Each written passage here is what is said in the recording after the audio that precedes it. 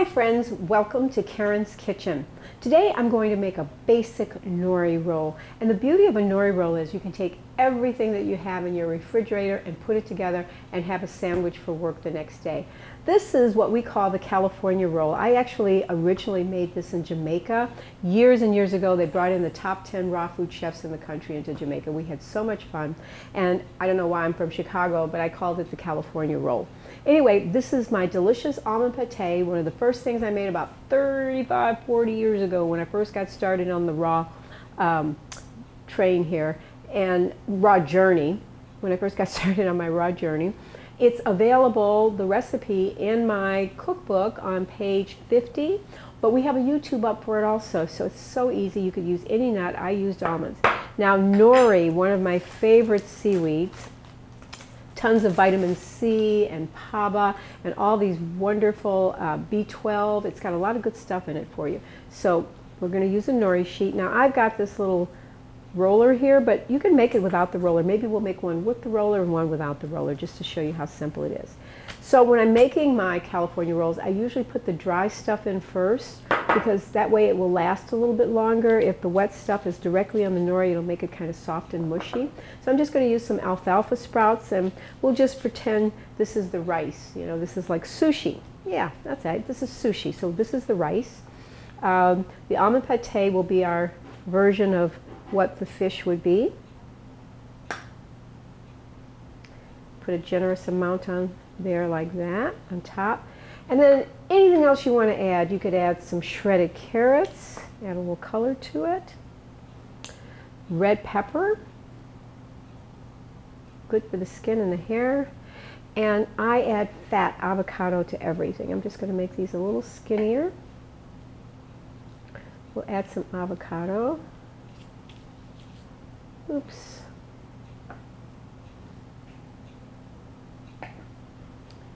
All right. And even your friends that don't like seaweed, this is a great way to get it in because you don't really taste the seaweed.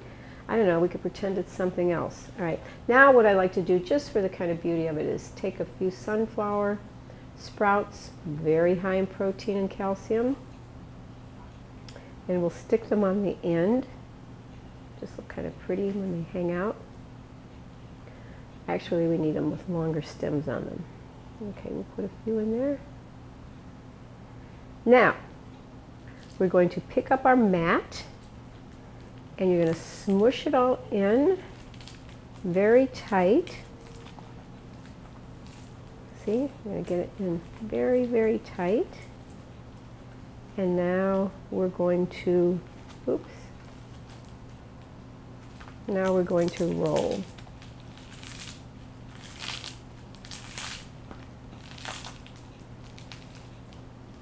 We go.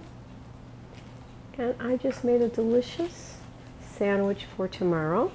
I'm going to take a little moisture and dampen this on the end so that it holds together.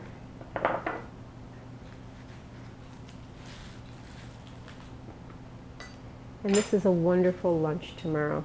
Okay, let's plate it and taste it.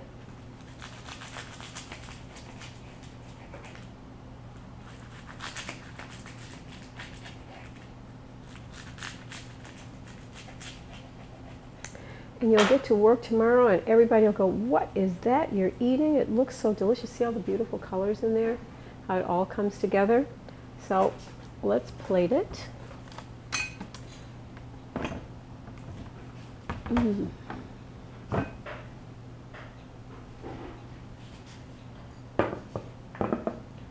Do one standing up. Two standing up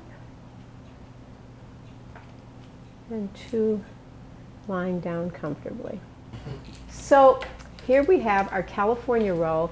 And if you're not in the mood to cook tonight, you can always come by Karyn's Fresh Corner at 1901 North Halsted in Chicago and pick up one. We always have it made. Guess what? You're going to get a bonus on this uh, YouTube. I'm going to give you a little bonus. I'm going to use my mat again.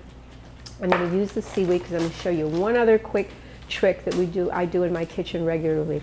Do you know what I do? I don't throw anything away. So you know that salad that you had last night that's kind of mushy and soft?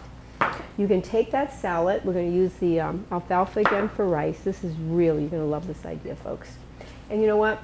I'm just using what I got here. Let's use some of these crunchy sprouts here. Make them a little easier to eat. I'm going to chop them up a little bit. Take the seeds out. I'm going to put that in for the crunchiness. And then I'm going to take my leftover sweet spinach salad and put that in there also.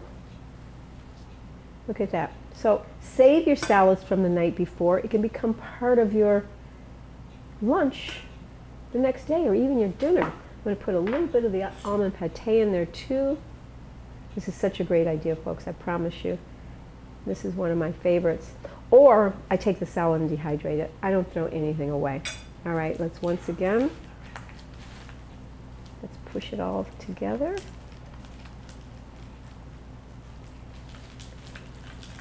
Okay, oops. And this is just something I would just wrap some saran wrap around it or paper and take it for my lunch the next day.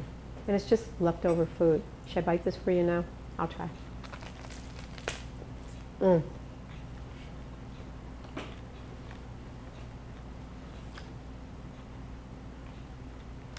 That's a bonus.